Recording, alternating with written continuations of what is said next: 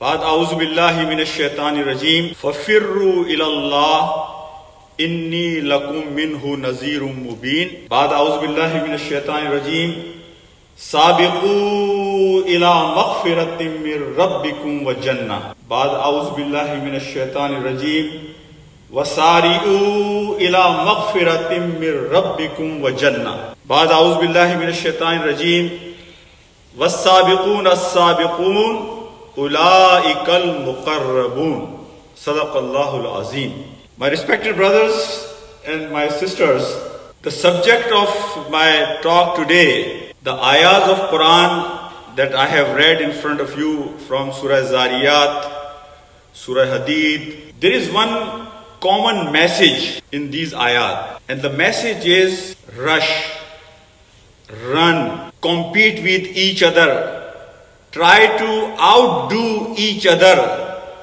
for maghfirah and jannah of Allah subhanahu wa ta'ala. You know, Allah subhanahu wa ta'ala has put in our fitrah some inclinations, love, that we love certain things in this dunya. We have certain behaviors, we have certain inclinations, and by very nature, Allah subhanahu wa ta'ala wants us to take advantage of those instincts, love, and inclinations.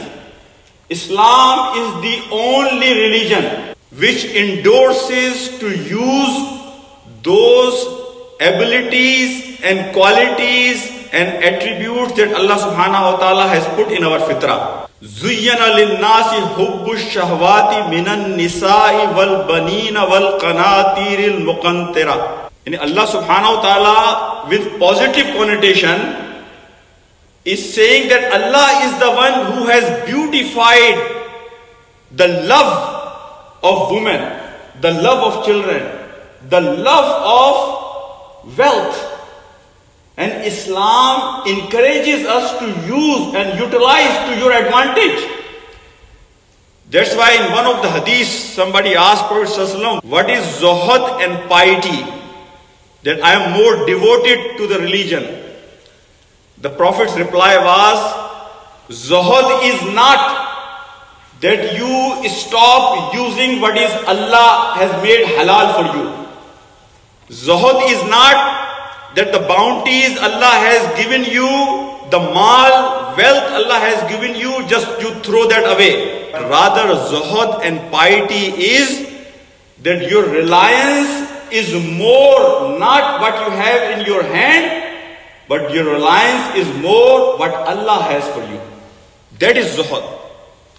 My brothers, so Allah subhanahu wa ta'ala and our deen encourages us. But you know, Quran gives us the perspective. Quran teaches us that these desires, this love you have, these inclinations you have, but you have to make sure you keep them checked and you keep them focused and you keep them in the right direction. Because if you will keep them checked and focused, that not only that you will have reward with Allah subhanahu wa ta'ala, but in this dunya also Allah will give you regard. Allah will give you dignity. Allah will give you honor. That's why we see in our everyday life that the people who keep their wishes, their desires checked, they are more dignified people in the community. Journal public loves them, respect them, because they are not slave of their desires. Allah gives honor that Allah put respect for these people in the heart of the people, my brothers.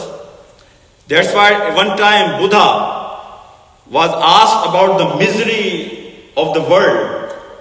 And the reply of Buddha was, the misery you see in the world, the pain you see, the suffering you see, is because people have uncontrolled desires. To decrease this pain, the only way is that you keep your desires and love and wishes of this dunya checked in control. My brothers, today inshallah, you know, I'm going to talk that Quran is the book which gives us the right perspective. یا ایوہ الناس قد جاءتکم موعظت من ربکم و شفاء لما فی الصدور و ہدن و رحمت للمومنین قل بفضل اللہ و برحمته فبذالک فلیفرہو ہوا خیر مما یجمعون۔ The ayah which I read in front of you before from Surah Al Imran, in which Allah subhanahu wa ta'ala was saying that I have beautified all these loves. But do you know what is better than this? Wallahu indahu husnul ma'ab. What Allah has is better than all the love you have, all the desires you have, all the wishes you have. قل أعنبئكم بخير من ذلكم للذين اتقوا Allah subhanahu wa ta'ala saying, ask them, do you want me to tell you what is better than the love of women, the love of your children, the love of your wealth, and all the wishes you have in this world, what Allah has is better and the way is لِلَّذِينَ اتَّقَوْا that you should run and rush for taqwa of Allah subhanahu wa ta'ala. This Jannah and Maghfirah is u'iddat lil muttaqeen that Allah has kept this Maghfirah and Jannah for people of taqwa. And inshallah in few minutes I will define for you what is taqwa. And Ramadan is coming. So inshallah, let's get in the mode of preparation of Ramadan, inshallah. My brothers and my sisters, you know, our test in this dunya is that how we keep our desires checked and how we behave according to the teachings of Islam. Islam is such a religion. You know, I was giving one Dars of Quran, Surah Baqarah. And the ayahs which talks about talaq and khula, aili qawaneen of Islam. سید قطب رحمت اللہ علیہ in his تفسیر فی زلال القرآن، says that when I was writing تفسیر of these آیاز of طلاق and خلا آیا number 238 of سورہ بقرہ all of sudden in the middle of this discussion of طلاق and خلا اللہ سبحانہ وتعالی is saying حافظو علی السلوات والسلات الگ qumu lillahi qanitin. Sayyid Qutub says that I was so puzzled that why Allah subhanahu wa ta'ala in the middle of this discussion of talaq and khula is mentioning about Salah. It does not go with the flow. And Sayyid Qutb says that I read tafsir of all the previous shayukh, but none of the explanation was making any sense to me. Until the time came for the third edition of his tafsir, Fizal al-Quran. He said, Allah subhanahu wa ta'ala put in my heart the meaning that between talaq and khula, why Allah subhanahu wa ta'ala is mentioning about salah. He says the reason is that no matter what you do in your life, even if it's talaq, even if it's khula, or whatever happens in your life, if you will do that according to the teachings of Quran and the way of the Prophet Muhammad it will be like a ibadah, like you are doing salah. Like salah is ibadah, same way when you will follow the footsteps of Prophet Muhammad and the teachings of Quran, it will qualify same way ibadah of Allah subhanahu wa ta'ala. This is the beauty of our religion, my brothers and, and my sisters. You know the time and age we live in today, social media. Social media is a trendsetter. Social media gives us narrative. Social media teaches us how to live our life. Social media teaches us our etiquettes, our manners these days. As a Muslim, I want to ask myself and you that today is more important for you and me to stay connected with our religion. You know, our religion has its own values, its own morals, our tahzeeb, the way of our life, the approach to life, the perspective of life, the perspective about life hereafter. Our religion has its own perspective. And wallahi, the amount of information we are getting through social media today, we used to double our information in 100 years in the past. The time is coming that we will double our information within six month time. What we used to do in 100 years, we will be soon doing in six months. Time changing. And the focus is how we can take people away from faith, our religion. So I will suggest one thing. This is a challenge for all of us as a Muslim. And the way out is our masajid. The refuge we can get for these challenges is to stay connected with masajid. And when I say connect with masajid means there is a responsibility of the people who are running Islamic centers. They, they should have leadership in masajid. That leadership is not only well equipped with the knowledge of religion, but they should also know understanding of the society and the challenges of the community, challenges of the ummah. So they can guide, they can guide the ummah in the right direction.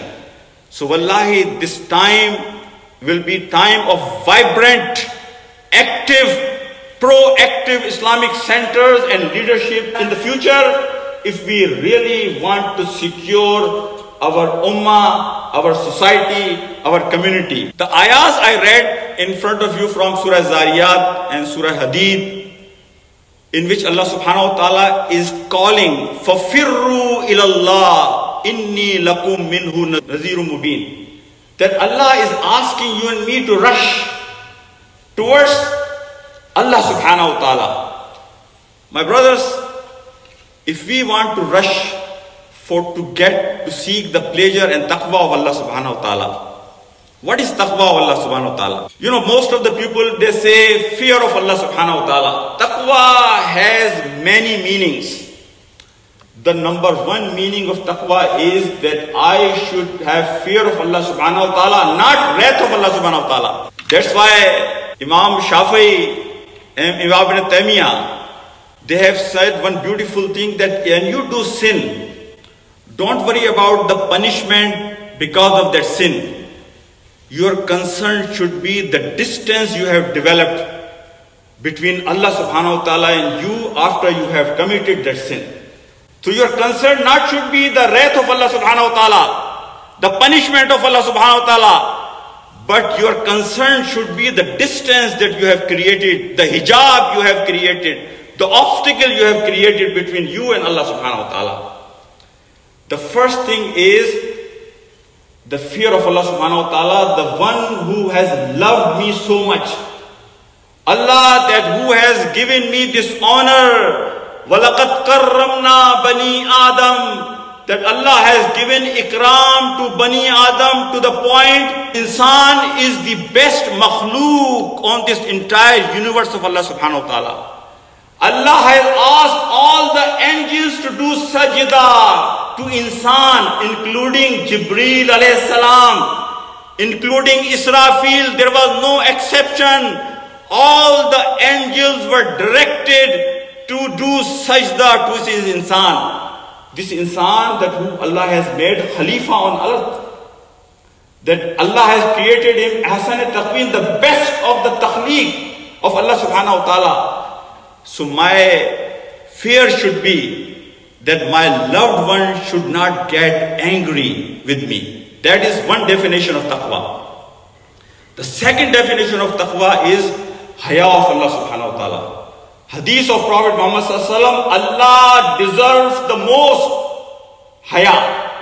That no matter where you are, you are worried about Allah subhanahu wa ta'ala. Haya is that khalish, that pain, that uncomfortable feeling you have inside when you are committing any sin. That is haya. Urdu में कहते हैं ना वो खलिश वो चुभन वो तकलीफ جو گناہ کرتے وقت انسان کو اندر محسوس ہو، اس کا نام ہے حیا۔ مائی بردرس دیٹ حیا is the part of definition of تخوا تخوا آلسو ہیز شکر that how in a world should be in thankful to my اللہ رب الٹ who's given me so many boundaries so تخوا has meaning of شکر also isn't but more importantly تخوا has that accountability that one day I will be standing in front of Allah subhanahu wa ta'ala. Inni zanantu anni mulaqin hisabiya. And I will stand in front of Allah subhanahu wa ta'ala all alone. And nobody will be there with me to help me, to support me. Ma aghna anni maliya, halaka anni sultaniya. Whatever wealth I have collected, whatever position and status I achieved in this dunya, that day nothing will stand with me. So the meaning of taqwa is that I want to get ready for that meeting with Allah subhanahu wa ta'ala. And in that meeting, Allah subhanahu wa ta'ala is going to ask me the most important question. And that most important question is that as a Khalifa, as a Naib, as Ashraful Makhluqat, Masjidul Malaik, I have given you one responsibility and that responsibility was to propagate the message of this deen. To bring everybody under the fold of Islam. To invite people to become role model and ambassador of Islam. This is the main reason why Allah subhanahu wa ta'ala has prescribed salah for you and me. Salah is not a destiny. Sawm is not a destiny. Rather, these things are to get me ready to become the ideal servant of Allah subhanahu wa ta'ala. My brothers and my sisters, and that mission is هو الذي أرسل رسوله بالهدى ودين الحق ليظهره على الدين كله ولو كره المشركون. This is the responsibility. Part of taqwa definition is that Allah is going to ask me that did I send you just to pray or do some sawm and become good in yourself and re leave rest of the world in misery and pain. No, your responsibility was not only to take care of yourself, but your family and the community as well. I want to share with you, you know, two, the meaning of two ahadith of Prophet Muhammad and then inshallah I will go towards conclusion. In one of the hadiths, Prophet said, and this was a general instruction for caravan, go for tijara, business. Recommendation was that the caravan which leaves in early part of the day, they can reach to their destiny in time before the heat of the sun can bother them. There was another hadith in which Prophet said that you should do preparation of akhirah like you only have today. And for dunya, like you have rest of your life.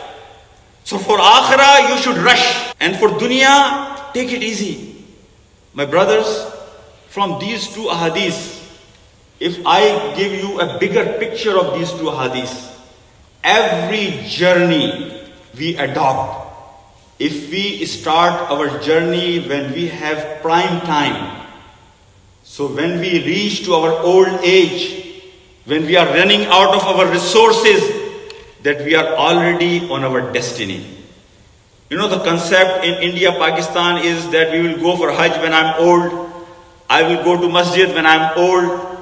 But teaching of Islam is other way around. That you should start this journey of seeking pleasure for Allah subhanahu wa ta'ala when Allah has given you your prime time, your prime qualities, your prime abilities, your prime resources that you should rush فَفِرُّوا إِلَى اللَّهِ You should rush towards the maghfirah and Jannah of Allah subhanahu wa ta'ala.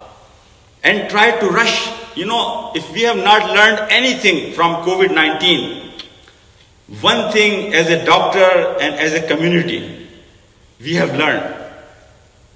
Life can end any second. And this is the very nature of life. Death can come any second.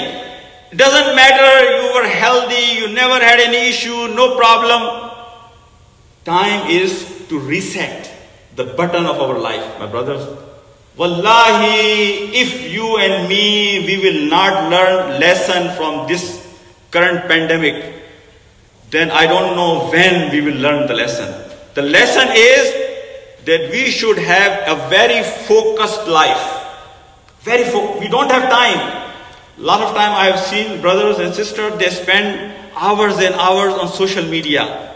Wallahi, as a Muslim, we have a calculated time available. It's like you are in an exam room. Every second counts. So the message of this pandemic is that we need to put our resources together. We need to put our efforts together and we should live life focused with the right direction. Focused with the right direction. And I will remind you one thing, my brothers, everything happens in this world happens for a reason. Everything you and me we come across is a question of our life. I'm standing here, this is a question of my life. Allah is going to ask me on that day that you were standing on the pulpit and giving khutbah. What was your intention? How good you did to deliver the message of this deen. Allah is going to ask me, my wife is a question for me, that how I behaved with her. My mal is a question for me. That's why I say the Quran gives us the right perspective. One of the challenges of today's life is that human being, you know, Sadi at one point said, you know, Pharaoh claimed that he is a god. He is, everything belongs to him. Because he has his army, his soldiers, his resources. We as a human being also behave most of the time as a pharaoh. Because we feel like, you know, what am whatever I am, because of my efforts, my intelligence, and my intelligence, my mehnat, my work. That's what exactly Qarun used to say. قال إنما أوتيته على علم عندي these are the words of Qarun. That Qarun used to say that whatever wealth I have is because of the knowledge, because I am self-made. This is a very common phrase we you know hear every day. Quran gives us perspective. Whatever you have, this you will be asked on the day of judgment. This is a question for you. So my mal, my abilities, are question of this life that I have to answer to Allah subhanahu wa ta'ala on that day. My brothers, you may go outside and come across somebody and you may not see that person ever in your life again. But how you behaved, how you acted and reacted with that brother, wallahi, your reward will be saved up until the day of judgment. How you behave at home, every action reward or punishment is saved up until the day of judgment. In conclusion, what I said today, this pandemic has wake up call for you and me. This Quran is the book that we should all go back to. The challenges coming, challenges we are facing today, to have right perspective of life on those challenges, the guide, the nur, the light will be this Quran. And I have recommended in the beginning of my khutbah that we all should stay connected with our masajid. Wallahi, we should attach ourselves to our masajid. And now responsibility falls on the shoulders of the leadership of masajid. That they should have leadership. That leadership is not only well equipped in the knowledge of deen, but also they should know the knowledge of the community they live in, the society they live in, the challenges Ummah is facing. And if we will have both of these wings on one page, inshallah, these masajid in future can play a bigger role than what they are playing today. I pray to Allah subhanahu wa ta'ala that He gives you and me this tawfiq, that whatever time is left with us, wallahi, take advantage of it. Respect that. And every second is like my ice of my life is melting. Every second I'm losing portion of my life. So I pray to Allah subhanahu wa ta'ala that every second left in our life that we should take advantage of it and we should try to stay connected with our masajid. Let's go back to Quran. Ramadan is coming. You know, our, our success is the success of hereafter, my brothers and my sisters, because خَيْرٌ وَأَبْقَى لَا عَيْشَ إِلَّا عَيْشَ الْآخِرَةِ اللَّهُ أَكْبَر